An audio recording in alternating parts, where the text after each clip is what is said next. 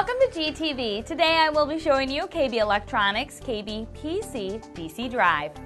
The KB PC series is a SCR DC motor speed and torque control in NEMA 4X housing and it's designed for applications requiring washdown, watertight integrity. Its housing is ruggedly constructed of die-cast aluminum, which is protected with an acrylic coating for corrosion resistance.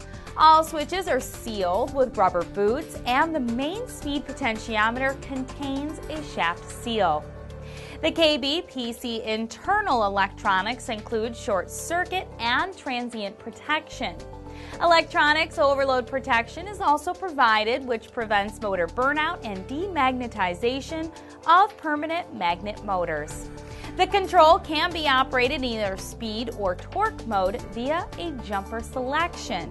The current range, which is also jumper selectable, eliminates the necessity for calibration of IR compensation and current limit for most applications. The KBPC also contains jumper selections for AC line voltage, DC armature voltage, and feedback type.